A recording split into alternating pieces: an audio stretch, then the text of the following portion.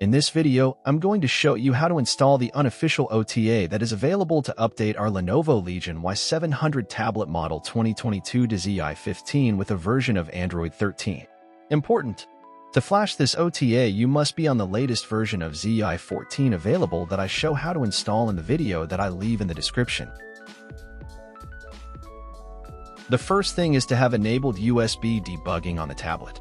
To do this, we click several times on the Android version from the settings, go to General Settings, Developer Options, and look for where USB debugging appears. Connect the tablet via USB to the PC and accept the message that appears on the tablet. Now let's download ADB in case you don't have it. Go to the link that I leave in the description and click where it says Download here. In the Downloads section, select the version corresponding to our PC.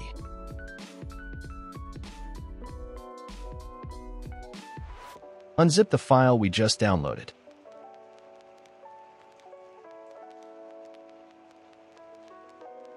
We open a terminal where the files have been unzipped.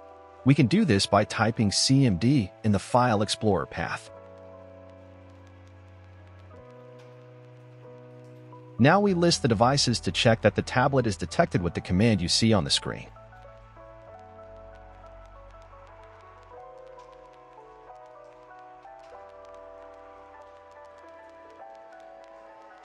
Now we restart the tablet in recovery mode with the command I'll leave you. The tablet will restart in recovery mode.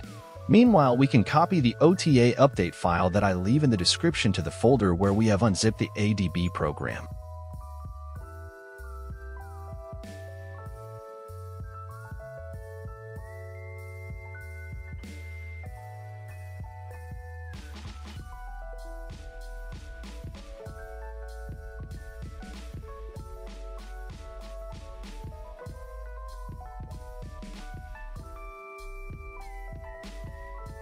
In recovery mode, we have to move to where it says Apply Update from ADB with the volume buttons and then Accept with the lock screen button.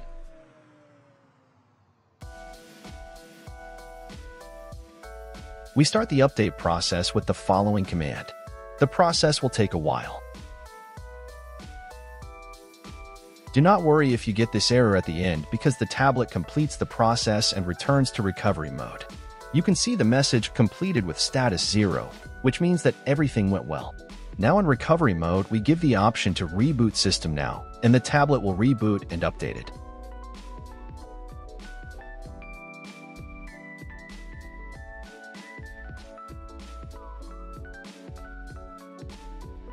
We will see the same message to accept the ADB connection with the PC, but the whole update process is finished.